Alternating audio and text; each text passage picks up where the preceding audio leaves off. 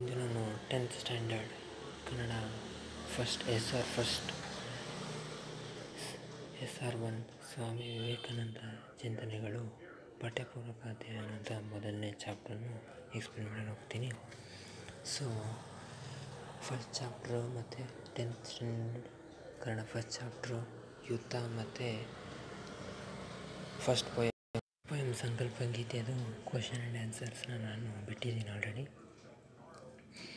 ಬೇಕಾದರೆ ಅದನ್ನು question and answers video ನಾನು ಡಿಸ್ಕ್ರಿಪ್ಷನಲ್ಲೂ ಲಿಂಕ್ ಹಾಕಿರ್ತೀನಿ. ಡಿಸ್ಕ್ರಿಪ್ಷನ್ ವಾಚ್ ಮಾಡಿ ಅವೆರಡರದ್ದು ಅದರಲ್ಲಿ ನಿಮಗೆ ಸಿಗುತ್ತೆ ಬೇಕಾದರೆ. ಸೊ ಪಠ್ಯಪೂರ್ವಕ ಮೊದಲನೇ ಚಾಪ್ಟರ್ ಸ್ವಾಮಿ ವಿವೇಕಾನಂದರ ಚಿಂತನೆಗಳು. ಇದು ಸಮಿತಿಯಿಂದ ಬರ್ತಿರುವ ಪುಸ್ತಕ, ಇದೊಂದು ಚಾಪ್ಟರ್ ಇದೊಂದು ಪಠ್ಯಪೂರಕ ಸೊ ಇಲ್ಲಿ ವಿವೇಕಾನಂದರ ಚಿಂತನೆಗಳ ಬಗ್ಗೆ ಹೇಳ್ತಿದ್ದಾರೆ. ಸೊ ಫಸ್ಟ್ ಪ್ಯಾರ ಸ್ಟಾರ್ಟ್ ಮಾಡೋಣ ಸೊ ವಿವೇಕಾನಂದರು ವಿವೇಕಾನಂದರೆಂದರೆ ಸಾಮಾಜಿಕ ಸಂಕಟ ಸಿಟ್ಟು ಸ್ಫೋಟ ಸ್ಪಷ್ಟತೆಗಳ ರೂಪಕ ಅವರು ಸೊ ಸ್ಫೋಟಕ ರೂಪಗಳಲ್ಲಿ ಅವರ ಶಿಖರ ಚಿಂತನೆ ಶಿಖರ ಚಿಂತಕ ಅವರ ಆಲೋಚನೆಗಳ ಆಲೋಚನೆಯಲ್ಲಿ ಗೊಂದಲಗಳಿಲ್ಲ ಕೆಲವೊಮ್ಮೆ ವೈರುಧ್ಯದಂತೆ ಕಂಡರೂ ಅದು ಸಾಂದರ್ಭಿಕ ಪ್ರತಿಕ್ರಿಯೆಗಳ ಫಲ. ಅವರ ಎಲ್ಲ ವಿಚಾರಗಳನ್ನು ಒಟ್ಟಿಗೆ ನೋಡಿದಾಗ ಸ್ಪಷ್ಟ ನೋಟ ಕಾಣಿಸುತ್ತದೆ. ಸೊ, ಕ, ಸೊ, ಸಮಿತಿನವ್ರು ಏನು ಹೇಳ್ತಾರೆ ಅಂದರೆ, ವಿವೇಕಾನಂದರವರು ಸಂಕಟ, ಸಿಟ್ಟು, ಸ್ಫೋಟಗಳ ರೂಪಕವಾಗಿರೋಂತೆ ಕಾಣ್ತಾರೆ. ಅವರು ಶಿಖರ ಚಿಂತಕ ಅಂದರೆ ಶಿ, ದೊಡ್ಡ ದೊಡ್ಡ ಯೋಚನೆಗಳು ಅವರಲ್ಲಿದೆ. ಮತ್ತು ಅವರ ಆಲೋಚನೆಗಳಲ್ಲಿ ಗೊಂದಲ ಇರುತ್ತೆ ಸ್ಟಾರ್ಟಿಂಗಲ್ಲಿ ಆದರೆ ಹೋಗ್ತಾ ಹೋಗ್ತಾ ನಮಗೆ ಅರ್ಥ ಆಗುತ್ತೆ ಹ್ಞೂ ಅದು ಸರಿ ಅಂತ. ಸೊ ಕೆಲವೊಮ್ಮೆ ಅವರು ಮಾಡಿರೋ ಕಾರ್ಯವನ್ನು ಕೆಲವೊಬ್ಬರು ವಿರೋಧಿಸ್ತಾರೆ. ಆದರೂ ಆಮೇಲೆ ಅವರು ಒಪ್ಕೊತಾರೆ ಹ್ಞೂ ಸರಿ ಅದು ಅಂತ. ಆ ಕಾರ್ಯ ಸರಿಯಾದ ಕಾರ್ಯ ಮಾಡಿದ್ದಾರೆ ಅಂತ. ಅವರ ಎಲ್ಲ ವಿಚಾರಗಳನ್ನು ಒಟ್ಟಿಗೆ ನೋಡಿದಾಗ ಸ್ಪಷ್ಟ ನೋಟ ಕಾಣಿಸುತ್ತದೆ ಅಂದರೆ ಅವ್ರು ಏನೇನು ಮಾಡಿದರೆ, ಎಲ್ಲ ಅವ್ರು ಏನೇನು ಮಾಡಿರ್ತಾರೆ ಅದನ್ನೆಲ್ಲ ಒಟ್ಟಿಗೆ ನೋಡಿದಾಗ ಒಂದು ಸ್ಪಷ್ಟತೆ ಕಾಣುತ್ತೆ ವಿಚಾರದಲ್ಲಿ. ಸೊ ನೆಕ್ಸ್ಟ್ ಬರ್ಕೋಣ. ದೈಹಿಕ ಹಸಿವನ್ನು ಹಿಂಗಿಸುವುದು ಅವರ ಮೊದಲ ಆದ್ಯತೆ. ಆನಂತರ ಆತ್ಮದ ಹಸಿವು ಆತ್ಮದ ಹಸಿವು, ವೇದಾಂತದ ಹಸಿವು ಸಾಂಸ್ಥಿಕವಾದ ಧರ್ಮದ ಹಸಿವು. ಈ ಕಾರಣದಿಂದಾಗಿಯೇ ವಿವೇಕಾನಂದರು ಯಾವತ್ತೂ ಧಾರ್ಮಿಕ ಮೂಲಭೂತವಾದಿಯಾಗಿರಲಿಲ್ಲ. ಬದಲಾಗಿ ಧಾರ್ಮಿಕ ಮೂಲಭೂತವಾದಕ್ಕೆ ಉಗ್ರ ವಿರೋಧಿಯಾಗಿದ್ದರು ಜಾತಿವಾದ ಮತ್ತು ಅದಕ್ಕೆ ಪ್ರತಿರೋಧ ಹೂಡಿದರು. ಹಿಂದೂ ಧರ್ಮದಲ್ಲಿ ಧರ್ಮ ತೊಡಗಿದೆ ತೊಡಗಿದ್ದು ಅದನ್ನು ಮೀರಿದ ಸಾಮಾಜಿಕ ಶಕ್ತಿಯಾದರೂ.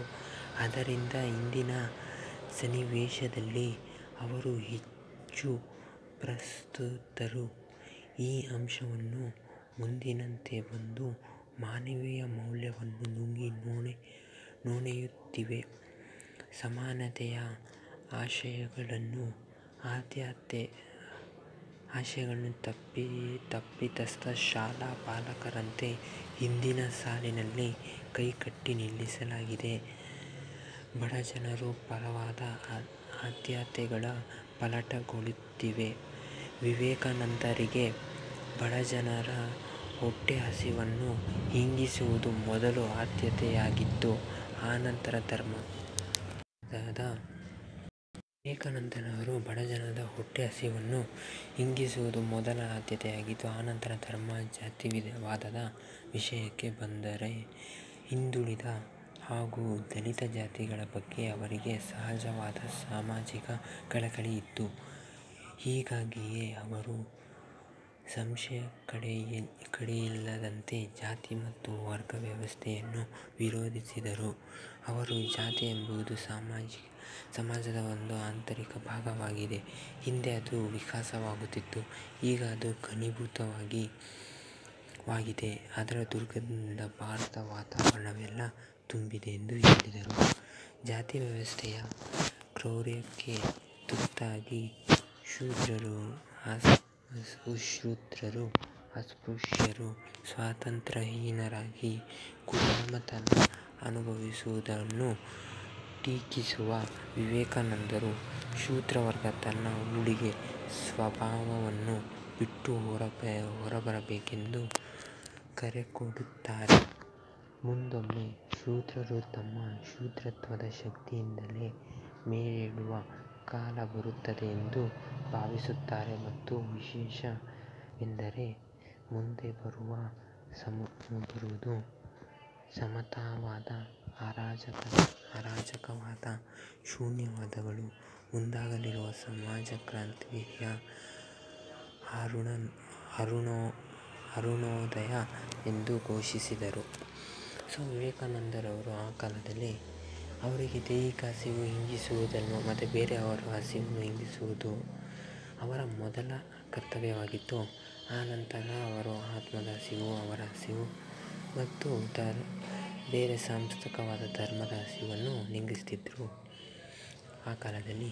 ಈ ಕಾರಣದಿಂದಾಗಿಯೇ ವಿವೇಕಾನಂದರವರು ಯಾವತ್ತೂ ಧರ್ಮದ ಮೂ ಧರ್ಮದ ಮೂಲಭೂತವಾದಿಯಾಗಿರಲಿಲ್ಲ. ಅವರೇ ಮೂಲವಾಗಿರಲಿಲ್ಲ. ಬದಲಾಗಿ ಧರ್ಮದ ಮೂಲಭೂತವಾದಕ್ಕೆ ಮೂಲಭೂತ ಯಾವುದು ಅದಕ್ಕೆ ಉಗ್ರ ವಿರೋಧಿಯಾಗಿದ್ದು ಜಾತಿವಾದ ಮತ್ತು ಕೋಮುವಾದದ ಪ್ರತಿ ಕಟ್ಟ ವಿರೋಧಿಯಾಗಿದ್ದರು ಅವರು. ಹಿಂದೂ ಧರ್ಮದೊಳಗಿನ ಶಕ್ತಿಯನ್ನು ಅವರು ಎದುರಿಸಿ, ಹಿಂದೂ ಧರ್ಮದೊಳಗಿ, ದೊಳಗಿದ್ದ ಅದನ್ನು ಮೀರಿದ ಶಕ್ತಿಯನ್ನು, ಶಕ್ತಿಯಾದರು. ಸೊ, ಅವರು ಅದನ್ನು ಮೀರಿದ ಶಕ್ತಿಯಾದರು. ಹಿಂದೂ ಧರ್ಮದಕ್ಕಿಂತ ಮೀರಿದ ಶಕ್ತಿಯಾದರು. ಆದ್ದರಿಂದ ಇವತ್ತಿನ ಸನ್ನಿವೇಶದಲ್ಲಿ ಅವರು ಹೆಚ್ಚು ಪ್ರಸ್ತುತರಾಗಿದ್ದಾರೆ. ಅವರು ಇನ್ನೂ ಅವರ ಹೆಸರು ಇದೆ ಅಂತ. ಈ ಅಂಶವನ್ನು ಮುಂದಿನಂತೆ ಮತ್ತಷ್ಟು ವಿವರಿಸಬಹುದು. ಸೊ, ಈ ಅಂಶವನ್ನು ಮುಂದೆ ಇನ್ನೂ ವಿವರಿಸಬಹುದು. ಇಂದು ಜಾತಿವಾದ ಮತ್ತು ಕೋಮವಾದ ಮುನ್ನೆಲೆಗೆ ಬಂದು ಮಾನವೀಯ ಮೌಲ್ಯಗಳು ನುಂಗಿ ನೋಣಿಯಾಗಿದೆ ಹಾಗಂದ್ರೆ ಜಾತಿವಾದ ಕೋಮವಾದನೆಲ್ಲ ಎಲ್ಲರೂ ಬಿಟ್ಟು ಎಲ್ರೂ ಒಂದಾಗಿ ಬಾಳ್ತಿದ್ದಾರೆ ಎಂದು ಹೇಳ್ತಾರೆ. ಸಮಾನತೆಯ ಆಶಯಗಳನ್ನು ಶ, ಸಮಾನತೆಯ ಆಶಯಗಳನ್ನು ಒಳ್ಳೆ ಶಾಲೆಯ ಪಾಲಕರಂತೆ ಹಿಂದಿನ ಸಾಲಿನಲ್ಲಿ ಕೈಕಟ್ಟು ನಿಲ್ಲಿಸಿದಾಗೆ ಮಾಡಿದ್ದಾರೆ. ಎಲ್ಲರೂ ಸಮಾನ ಎಂದು. ಭಾವವನ್ನು ದೂರಕ್ಕಿಟ್ಟು ಎಲ್ಲರೂ ಸಮಾನರೆಂದು ಮಾಡಿದ್ದಾರೆ ಈಗ. ಸೊ, ಇದು ಸಮಿತಿಯನ್ನು ಅದಕ್ಕೆ ವಿವೇಕಾನಂದರ ಯೋಚನೆ ಮತ್ತು ಈಗಿನ ಏನು ನಡೀತಾ ಇದೆ, ಹೆಂಗಿದೆ ಎಲ್ಲ ಜಾತಿ ಎಲ್ಲ ದೂರ ಆಗಿದೆ ಅಂತ ಹೇಳ್ತಿದ್ದಾರೆ. ಸೊ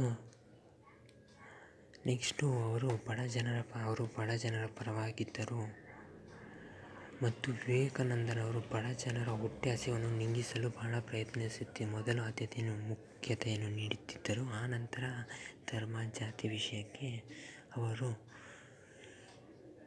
ಬೇರೆ ಕಾರ್ಯವನ್ನು ಮಾಡುತ್ತಿದ್ದರು. ಹೀಗಾಗಿಯೇ, ಸೊ ಹೀಗಾಗಿ ಅವರ ಸಂಶಯ ಕೆಡೆಯಿಂದಲೇ ಜಾತಿ ಮತ್ತು ಧರ್ಮದ ವರ್ಗ ವ್ಯವಸ್ಥೆ ವಿರೋಧಿಸಿದ್ದರು. ಸೊ ಅವರು ಅವಾಗ ಏನು ನಡೀತಿತ್ತು ಹೇಳ್ತಿದ್ದಾರೆ. ಜಾತಿ ಮತ್ತು ಧರ್ಮದ ವ್ಯವಸ್ಥೆಯನ್ನು ವಿವೇಕಾನಂದರು ವಿರೋಧಿಸಿದರು ಅವಾಗ ಅಂತ ಹೇಳ್ತಿದ್ದಾರೆ ಇಲ್ಲಿ. ಮತ್ತು ಅವರು ಏನು ಹೇಳ್ತಿದ್ರು ಅಂದರೆ, ಜಾತಿ ಎಂಬುದು ಒಂದು ಸಣ್ಣ ಸಮಾಜದ ಅಂಗವಾಗಿತ್ತು. ಒಂದು ಆಂತರಿಕ ಭಾಗವಾಗಿತ್ತು ಅಷ್ಟೇ ಅದು. ಅದು ಮುಖ್ಯವಲ್ಲ, ಭಾಗವಾಗಿತ್ತು ಅಷ್ಟೇ. ಹಿಂದೆ ಅದು ಬೆಳೆಯುತ್ತಿತ್ತು. ಆದರೆ ಈಗ ಅದು ತುಂಬ ಬೆಳೆದು ನಿಂತು, ಅಂದರೆ ಈಗ ಅದು ಹಾಳಾಗುತ್ತಿದೆ ಅಂತ ಹೇಳ್ತಿದ್ದಾರೆ. ಇದೆ ಅದರ ದುರ್ಗಂಧದಿಂದ ಭಾರತ ವಾತಾವರಣವೆಲ್ಲ ತುಂಬಿದೆ ಅಂತ ಹೇಳ್ತಿದ್ದಾರೆ ಇಲ್ಲಿ ಅವರು. ಮತ್ತು ಜಾತಿ ವ್ಯವಸ್ಥೆಯಲ್ಲಿ ಕ್ರೌರ್ಯಕ್ಕೆ ತುತ್ತಾಗಿ, ಅವಾಗ ಆವಾಗ ಕ್ರೌರ್ಯಕ್ಕೆ ತುತ್ತಾಗಿ ಶೂದ್ರರು ಅಸ್ಪೃಶ್ಯ ಸ್ವಾತಂತ್ರ್ಯ ಮತ್ತು ಅವ್ರಿಗೆ ಸ್ವಾತಂತ್ರ್ಯ ಇರಲಿಲ್ಲ, ಶೂದ್ರರು ಅನ್ನುವರಿಗೆ ಆಗ ಸ್ವಾತಂತ್ರ್ಯ ಇರಲಿಲ್ಲ. ಗುಲಾಮತನ, ಸೊ ಗುಲಾಮಗಿರಿ ಮಾಡ್ತಿದ್ದರು ಗುಲಾಮತನ ಅನುಭವಿಸುವುದನ್ನು ಟೀಕಿಸಿ ವಿವೇಕಾನಂದ ಸೊ ಗುಲಾಮತನ ಹಂಗಂದರೆ ಶೂದ್ರರು ಗುಲಾಮರಾಗಿದ್ರಲ್ಲ, ಅದನ್ನು ವಿವೇಕಾನಂದರು ವಿರೋಧ ಮಾಡುತ್ತಿದ್ದರು. ಮತ್ತು ತನ್ನ ಅವರ, ತನ್ನ ಉಡುಗೆ ಸ್ವಭಾವವನ್ನು ಬಿಟ್ಟು ಹೊರಬರಬೇಕೆಂದು, ಸೊ ಅವರು ತಮ್ಮ, ಶೂದ್ರರು ತಮ್ಮ ಸ್ವಭಾವವನ್ನು ಹೊರಗೆ ಹಾಕಿ ಹೊರಗೆ ಬರಬೇಕೆಂದು ಅವರಲ್ಲಿ ಅವರನ್ನು ಹೊರಗಡೆ ಕರ್ಕೊಂಬಂದರು ಅವರ ಸ್ವಭಾವದಿಂದ ಮುಂದೊಮ್ಮೆ ಶೂದ್ರರು ತಮ್ಮ ಶೂದ್ರ ಶೂದ್ರತ್ವದ ಶಕ್ತಿಯನ್ನು ತೋರಿಸ್ತಾರೆ ಎಂದು ಅವರು ನಂಬಿ, ಅವರು ಭಾವಿಸುತ್ತಿದ್ದರು ಆವಾಗ ಮತ್ತು ಅವರು ಅವರಲ್ಲಿ ವಿಶೇಷತವೇನೆಂದರೆ ಮುಂದೆ ಬರುವ ವರ್ಷಗಳು ಅಥವಾ ಮುಂದೆ ಬರುವ ಪೀಳಿಗೆಯು ಸಮತವಾದ ಸಮತವಾದದ ಅರಾಜುವ, ಅರಾಜಕವಾದ, ಶೂನ್ಯವಾದಗಳ ಮುಂದಾಗಲಿರುವ ಸಮಾಜ ಕ್ರಾಂತಿಯ ಆರೋಣದಯ ಹಂಗಂದರೆ ಸಮಾಜ ಕ್ರಾಂತಿ ಅದರ ವಿರೋಧಿ ಆಗಿರ್ತಾರೆ ಅದನ್ನು ಉಳಿಸ್ತಾರೆ ಅನ್ನೋ ಎಂದು ಘೋಷಿಸ್ತಾರೆ ಎಂದು ಆವಾಗ ವಿವೇಕಾನಂದರು ಘೋಷಿಸ್ತಾರೆ. ಸೊ, ಇಲ್ಲಿವರೆಗೂ ಅರ್ಥ ಆಗಿದೆ ಅಂದ್ಕೊತೀನಿ ಏನಾದರೂ ಡೌಟ್ ಇದ್ದರೆ ಕಮೆಂಟ್ ಮಾಡಿ. ಸೊ, ಇಲ್ಲಿ ಸ್ಟಾಪ್ ಮಾಡ್ತಾಯಿದ್ದೀನಿ ಸೊ ಇದರಿನ ಕ್ವಶನ್ ಆ್ಯಂಡ್ ಆನ್ಸರ್ಸ್ನ ಆನ್ಸರ್ಸ್ ನಾನು ಲಿಂಕಲ್ಲಿ ಡಿಸ್ಕ್ರಿಪ್ಷನಲ್ಲಿ ಕೊಟ್ಟಿರ್ತೀನಿ. ಸೊ ಇದು ಇನ್ನೊಂದು ಸ್ವಲ್ಪ ಉಳಿದಿದೆ. ಇದು ಎಕ್ಸ್ಪ್ಲೇನ್ ಮಾಡಾದಮೇಲೆ ಲಿಂಕನ್ನು ನಾನು ನಿಮಗೆ ಕೊಡ್ತೀನಿ ಅದನ್ನು. ಸೊ ಇದು ಚ ಈ ಫ ಎಲ್ಲಿವರೆಗೂ ಎಕ್ಸ್ಪ್ಲೇನ್ ಮಾಡಿದ್ದೀನಿ ಅಲ್ಲಿವರೆಗೂ ಅರ್ಥ ಆಗಿದೆ ಅಂದ್ಕೊತೀನಿ ಡೌಟ್ ಇದ್ದರೆ ಕಮೆಂಟನ್ನು ಕೇಳಿ. ಮತ್ತು ವೀಡಿಯೋ ಹೆಂಗೆ ಇಷ್ಟ ಆಯಿತಾ ಹೆಂಗಂತ ಕಮೆಂಟ್ ಮಾಡಿ. ಮತ್ತು ಇನ್ನೂ ನನ್ನ ವೀಡಿಯೋಸ್ ಬೇಕಂದರೆ ನನ್ನ ಚಾನಲ್ ಐ ಮೀನ್ ಕೋಚಿಂಗ್ ಸೆಂಟರ್ನ ಸಬ್ಸ್ಕ್ರೈಬ್ ಮಾಡಿ. ಸೊ ಇದು ನಿಮ್ಗೆ ಅರ್ಥ ಆಗಿದೆ ಅಂದ್ಕೊತೀನಿ ಸೊ ಸಂ ಇದನ್ನು ಬಿಡ್ತಾಯಿದ್ದೀನಿ ಸಂಜೆ ಇಲ್ಲ, ರಾತ್ರಿ ಒಳಗೆ ನಾನು ಈ ಪೂರ್ತಿ ಎಕ್ಸ್ಪ್ಲೇನ್ ಮಾಡಿ ಬಿಡೋಕ್ಕೆ ಟ್ರೈ ಮಾಡ್ತೀನಿ ಓಕೆ ಓಕೆ ಮಕ್ಕಳ ಸೊ ಸೊ ನೆಕ್ಸ್ಟ್ ವಿಡಿಯೋದಲ್ಲಿ ಸಂಜೆ ಅಥವಾ ರಾತ್ರಿ ಸಿಗ್ತೀನಿ. ಅಲ್ಲಿವರೆಗೂ ನನ್ನ ಉಳಿದಿರುವ ಚಾಪ್ಟರ್ಗಳನ್ನ ನೋಡ್ಕೊಳ್ಳಿ ಅರ್ಥ ಮಾಡ್ಕೊಳ್ಳಿ. ಮತ್ತು ಇಷ್ಟ ಆದರೆ ನನ್ನ ವಿಡಿಯೋನ ಲೈಕ್ ಮಾಡಿ. ಹೇಗಿತ್ತು ಮತ್ತೇನೋ ಡೌಟ್ ನಿಮಗೇನೋ ಡೌಟ್ ಬಂದಿದ್ದರೆ ಕಮೆಂಟ್ ಮಾಡಿ. ನಾನು ಆಮೇಲೆ ಕ್ಲಿಯರ್ ಮಾಡ್ತೀನಿ ಕಮೆಂಟಲ್ಲೇ ಮತ್ತು ಇನ್ನೂ ವೀಡಿಯೋಸ್ಗೆ ನನ್ನ ಚಾನಲ್ ಡೈಮಂಡ್ ಕೋಚಿಂಗ್ ಸೆಂಟರ್ನ ಸಬ್ಸ್ಕ್ರೈಬ್ ಮಾಡಿ. ಓಕೆ, ಸಿಗ್ತೀನಿ ನೆಕ್ಸ್ಟ್ ವೀಡಿಯೋದಲ್ಲಿ. ಬಾಯ್ ಸಿ ಯು ಮತ್ತು ಟೇಕ್ ಕೇರ್